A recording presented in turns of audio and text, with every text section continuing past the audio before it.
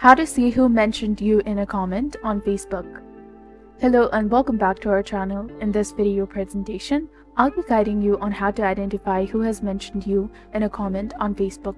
This method is efficient and straightforward, so be sure to pay attention.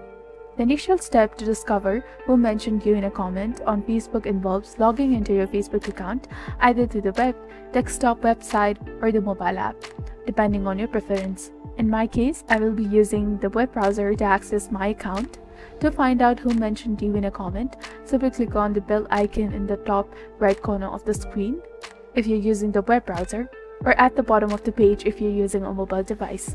After clicking the notification tab, you will see the individuals who have mentioned you in a comment.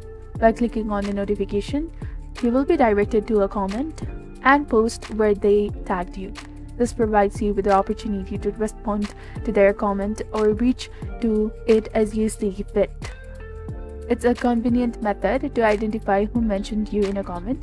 If this tutorial has been helpful in enabling you to check who mentioned you in a Facebook comment, do show your support by liking the video and subscribing for more quick and simple tips. Thank you for tuning in. See you in the next one.